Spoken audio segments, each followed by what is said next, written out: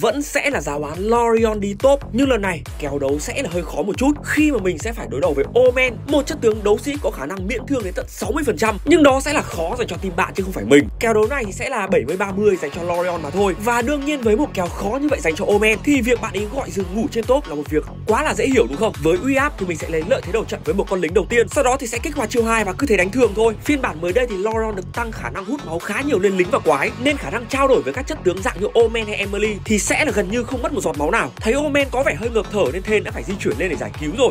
Có một số kèo mà anh em không nên pick vị tướng này đi tốt bởi nó yêu cầu khả năng hiểu con Lorion này khá là nhiều. Đó là với Flor, Gina hay là Ryoma. Nó giống như kiểu là ba chất tướng đấu sĩ này có khả năng hồi phục với những lượng sát thương rất lớn đầu trận nên sẽ yêu cầu kỹ năng người chơi Lorion phải ở một đẳng cấp khác. Anh em lưu ý cái điều này nha chứ không phải cứ pick là win đâu. Lúc này đây thì Nagrod đã phải lên giải cứu Omen rồi nhưng cũng chỉ là giảm tải áp lực dành cho vị tướng đấu sĩ bên kia mà thôi có thể sẽ có vài anh em thắc mắc là tại sao không đẩy đường nhanh đi, sau đó là di chuyển ra mid hỗ trợ đồng đội, hay là áp lực ganh đại loại gì đó. Nhưng theo cá nhân mình cảm nhận thì thà ở đường đóng băng lính như thế này, thì tự khắc Nacross phải lên đây, thì cánh dưới của mình sẽ bớt áp lực bởi Nacross hơn. Trong khi đó với hai chất tướng như Omen hay Nacross thì chắc chắn sẽ không đủ để sốc đam được con Lorion này rồi. Bởi rõ ràng với khả năng hồi phục của chất tướng này thì sẽ là như thế này nhá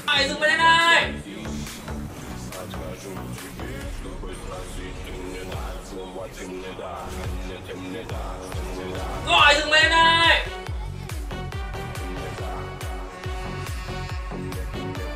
mẹ!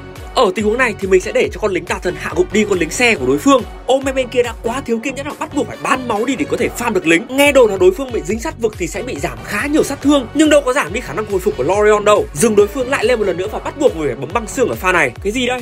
Nhìn cái thế này biết ngay đối phương sẽ băng trụ rồi. Mình lướt chiêu hai vào và đi sang bên trái để tránh bị thêm đẩy ra khỏi trụ. Sau đó thì với khả năng hồi phục và sát thương đến từ nội tạng Thì Nacros đã rơi vào tình thế dầu ăn rồi. Nhưng bạn ấy vẫn còn băng xương anh em ơi. Mấy pha này Omen còn chặn đầu nữa. Kéo đến tận ba người như thế này thì đúng là nể luôn rồi.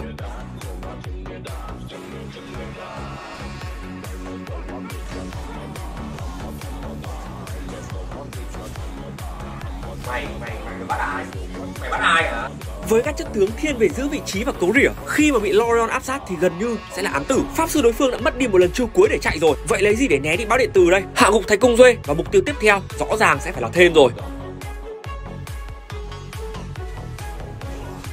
Con này chui ra có một ra một ra nha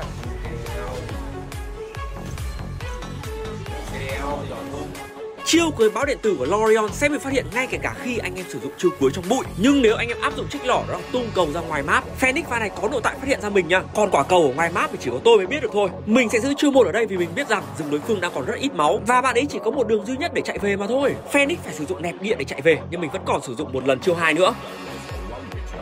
Nếu như mình tung báo điện từ trước ở pha này thì Duê có thể né dễ dàng với chiêu cuối. Nhưng mà anh em ơi, chiêu cuối thì mình sẽ để ở pha sau nha. Wow, nó nó này. Khi mà sử dụng vị tướng này đi top thì tôi khuyên anh em là nên có được một món trang bị phòng thủ với các chất tướng không bị phụ thuộc vào tốc đánh giống như kiểu Flor, Zuka hay là Ryoma thì anh em cứ lên cho mình của đó là giáp thống khổ nhá. Còn dạng phụ thuộc vào tốc đánh như Omen thì cứ lên khiên tất truyền là quá hợp lý rồi. Mình sẽ lùi lại một nhịp ở pha này để có thể né đi khống chế từ thêm, sau đó thì sẽ là một pha quay trở lại với chiêu một. Tình huống này thì bên mình thiếu người, nhưng rừng thì vẫn muốn ăn tà thần. Và cũng rất may là ăn được tà thần, chứ nếu mà không ăn được thì game nó lại lâu hơn một chút. Dạ. yeah. Không cho về, không cho về. Vào không cho về, không cho về. Cứ đuổi mày. Không cho về đi đâu con lợn này.